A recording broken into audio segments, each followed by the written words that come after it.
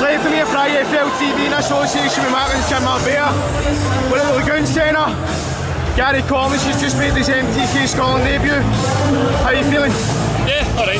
Uh, wasn't the best performance, but a win's a win. Did you find it was quite tricky in there? I felt like he was just falling in a lot, you know. Um, I couldn't really get my shots off, but there's a lot going on just now, you know. We've just started with a new management team, new training team, fight coming up, so that was in the back of my mind, even before I tried to put it out of it. It's always going to be there, you know. Just looking at your new team, you've started training with Billy Nelson, Stephen Simmons, David Brophy. How are you finding that new environment? Oh, it's brilliant, you know. You, you can see how close we are already. We all come to the ring together, we're all a team, you know, and we all push each other in the gym. And obviously, Billy's got plenty of experience, rock champions and that, so I just listen to what these boys have got to say. You've dedicated yourself full time in the sport now. Do you feel that difference?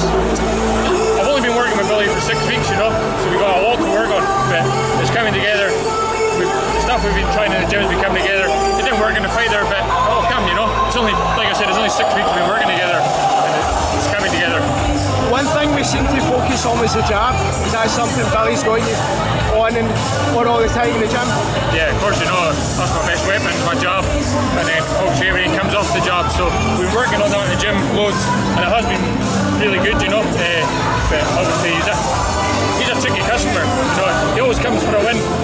He doesn't come just to lie down, even for his record suggests that. He doesn't come to lie down, and I appreciate it because he stepped in last minute, you know, and, he, he's a tough guy.